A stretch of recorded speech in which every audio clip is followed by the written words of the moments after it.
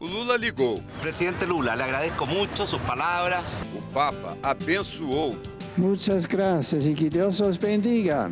Solidariedade de todos os continentes em todos os jornais. Pois é, quando o planeta está unido, sai de baixo. E a Fênix fez renascer do fundo do poço o orgulho latino. 33 homens e um destino, reencontrar a luz dos olhos de toda essa gente que torcia pela vida contra mais uma tragédia em rede mundial. Resgatou-se não apenas os homens, mas um pouco da fé na humanidade. A cada abraço, cada lágrima, a felicidade contagia. E os segredos também vêm à tona. Aquele que buscava ouro e cobre tem dificuldades financeiras. Este tem duas mulheres. Foi recebido pela amante. A vida é assim, nos dá lições.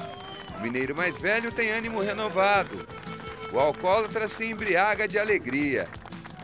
Este enrolava a noiva há 25 anos, diz que vai casar.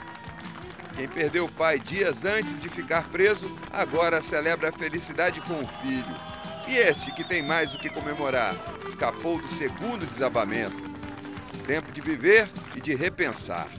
O trabalho é mesmo arriscado. O presidente promete mais segurança. Tomara que sim. Esses mineiros agora são do mundo.